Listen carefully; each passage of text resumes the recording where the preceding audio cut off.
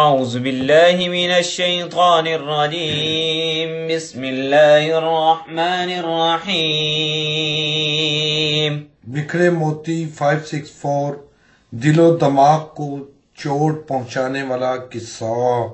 کہتے ہیں کہ اورنگزیب عالمگیر رحمت اللہ علیہ کے پاس ایک بہروپیہ آتا تھا، وہ مختلف روپ بدل کر آتا تھا۔ اورنگزیب ایک فرزانہ تجربہ کار شخص تھے جو اس طویل و عریض ملک پر حکومت کر رہے تھے، اس کو پہچان لیتے، وہ فوراً کہہ دیتے کہ تم فلانا ہے، میں جانتا ہوں، وہ ناکام رہتا، پھر دوسرا بھیس بدل کر آتا، پھر وہ تاڑ جاتے اور کہتے، میں نے پہچان لیا، تم فلانا کا بھیس بدل کر آیا ہے، تم تم فلانا ہے بہروپیہ عاجز آ گیا۔ آخر میں کچھ دنوں تک خاموشی رہی۔ ایک عرصے تک وہ بادشاہ کے سامنے نہیں آیا۔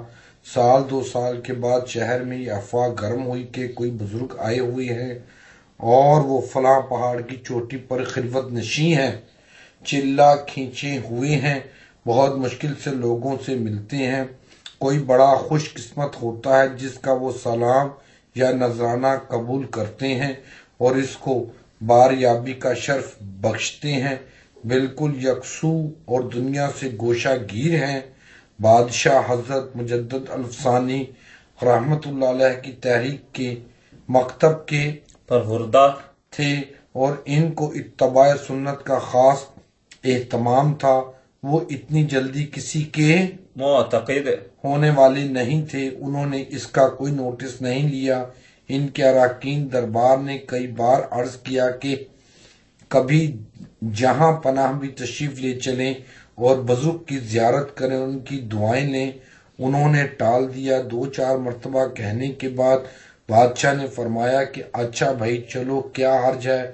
اگر خدا کا کوئی مخلص بندہ ہے اور خلوت گزی ہے، تو اس کی زیارت سے فائدہ ہی ہوگا۔ بادشاہ تشریف لے گئے اور موت موتبانہ ہو کر بیٹھ گئے اور دعا کی، درخواست کی اور ہدیہ پیش کیا۔ درویش نے لینے سے معذرت کی۔ بادشاہ وہاں سے رخصت ہوئے تو درویش کھڑے ہو گئے اور آداب بجا لائے۔ فرشی سلام کیا اور کہا کہ جہاں پناہ مجھے پہچان سکے، میں وہی بہروپیہ ہوں جو کئی بار آیا اور سرکار پر میری کلی کھل گئی۔ بادشاہ نے اقرار کیا۔ کہا کہ بھائی بات تو ٹھیک ہے، میں اب کے نہیں پہچان سکا، لیکن یہ بتاؤ کہ میں نے جب تمہیں اتنی بڑی رقم پیش کی جس کے لیے تم یہ سب کمالات دکھاتے تھے، تو تم نے کیوں نہیں قبول کیا؟ اس نے کہا، سرکار، میں نے جن کا بھیس بدلا تھا، ان کا یہ شیوا نہیں۔